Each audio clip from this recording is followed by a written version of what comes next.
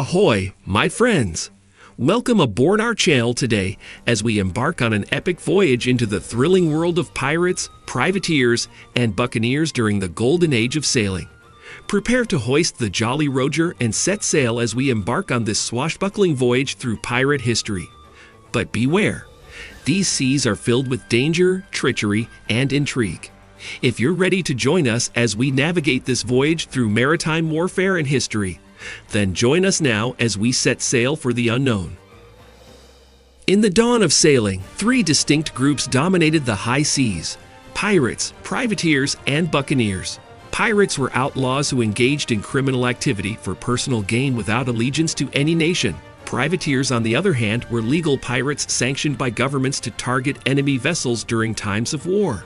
Buccaneers were a particular breed of pirate primarily active in the Caribbean region, known for their brutal tactics and fierce independence. Pirates such as Edward Teach, better known by his alias Blackbeard, and William Kidd, aka Captain Kidd, were two of the most notorious.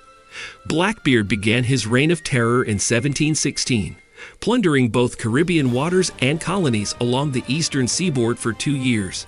Captain Kidd initially worked as a privateer but turned to piracy when unable to locate enough enemy vessels for plunder. Unfortunately for both men, Blackbeard was eventually killed in battle while Kidd was executed for his crimes. The golden age of piracy occurred from the late 17th to early 18th centuries. Piracy posed a serious threat to global trade during this time, and tales of their exploits spread far and wide.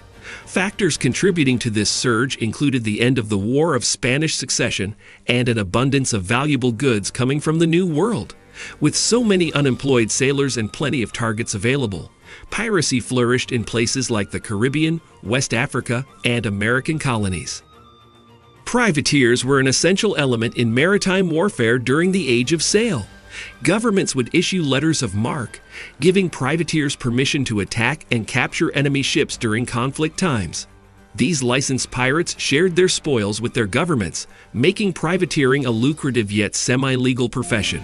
Notable examples include Sir Francis Drake, an English hero famous for circumnavigating the globe while harassing Spanish shipping.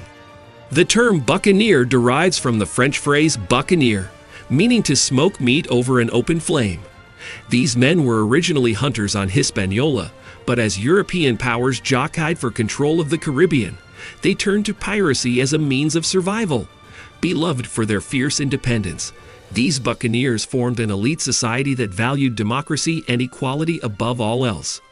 Their brutality and cunning made them formidable adversaries, inspiring fear into those who crossed their path.